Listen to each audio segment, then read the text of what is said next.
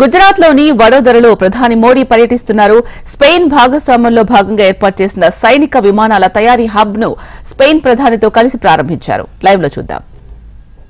राष्ट्र को समर्पित करने वाले हैं प्रधानमंत्री नरेंद्र मोदी इसके बाद और दोनों देशों के बीच द्विपक्षीय वार्ता भी होगी और ये सीधी तस्वीरें आपको दे रहे हैं हम वडोदरा से जहां टाटा एयरक्राफ्ट कॉम्प्लेक्स का उद्घाटन दोनों देशों के बीच संयुक्त रूप से हो चुका है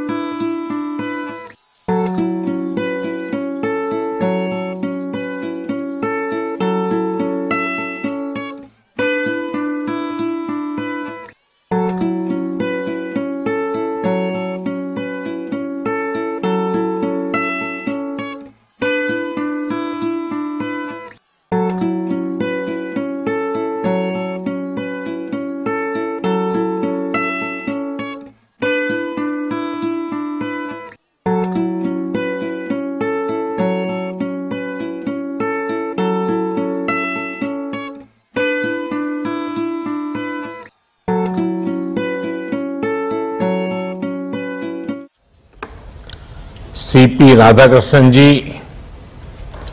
मुख्यमंत्री